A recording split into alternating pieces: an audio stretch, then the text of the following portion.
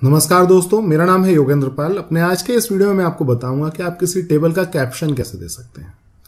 सो so, हम इस table की बात करते हैं। इस टेबल का हम एक कैप्शन देना चाहते हैं तो कैप्शन देने के लिए आपको टेबल के बाद एक टैग इस्तेमाल करना पड़ेगा जिसको हम कैप्शन टैग बोलते हैं कैप्शन टैग। कैप्शन आप लिखिए। कैप्शन के अंदर आप जो भी लिखना चाहते हैं वो लिख सकते हैं। फॉर एग्ज़ाम्पल हम यहाँ लिख देते हैं teachers of learn by watch. तो ये जो कैप्शन है, वो इस टेबल का आ गया है। सिमिलरली आप जिस टेबल में भी कैप्शन देना चाहते हैं, वो आप दे सकते हैं। इसके लिए आप यहाँ पर लिखिए caption this is another table इतना याद रखिएगा कि भले ही ये एक इंडिपेंडेंट टैग है, लेकिन उसके बावजूद भी ये टेबल के जस्ट बाद आना चाहिए।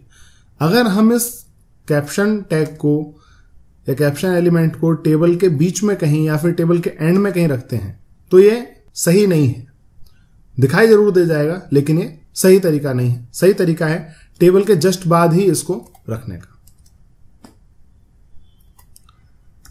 तो जैसे ही आपका टेबल टैग स्टार्ट होता है, उसके तुरंत बाद आप कैप्शन टैग का इस्तेमाल करिए और अपने टेबल का कैप्शन लिख दीजिए, उसके बाद ही आप टेबल का डेटा फिल करना स्टार्ट कीजिए। तो मुझे उम्मीद है आप समझ गए होंगे किस तरह से आप टेबल का कैप्शन दे सकते हैं एच में। अब मुलाकात करूँगा आपसे अपने अगले वीडियो में, जहाँ पर हम बात करेंगे इमेजेस के बारे में कि अपने इन फाइल्स में इमेजेस को कैसे लाया जाए। तो मिलते हैं अगले वीडियो में, तब तक के लिए इजाज़त दीजिए। नमस्कार।